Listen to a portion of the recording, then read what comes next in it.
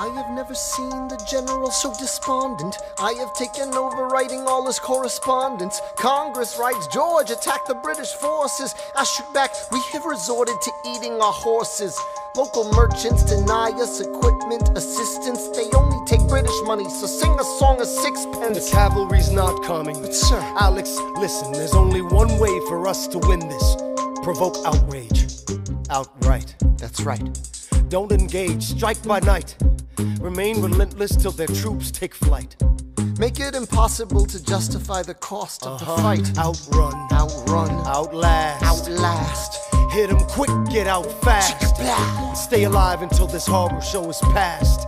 We're gonna fly a lot of flags half mast. Raise a glass. I go back to New York in my apprenticeship. I ask for French aid, I pray that Francis sent a I ship. stay at work with Hamilton. We write essays against slavery, and every day's a test of our camaraderie and bravery. We cut supply lines, we steal contraband. We pick and choose our battles and places to take a stand. And every day, sir, entrust me with a command.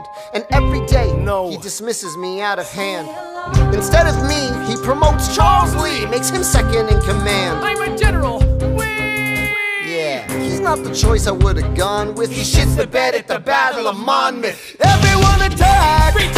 Attack! Retreat! What are you doing? Lee, get back on your feet! There's so many of them. I'm sorry, is this not your speed?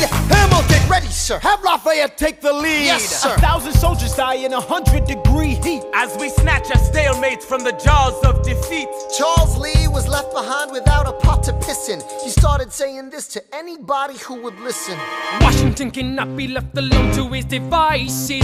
Indecisive from crisis to crisis. The best thing he can do for the revolution is turn and go back to planting tobacco in Mount Vernon. Don't do a thing, history will prove him wrong. But, sir, we have a war to fight, let's move along. Strong words from Lee. Someone ought to hold him to it. I can't disobey direct orders.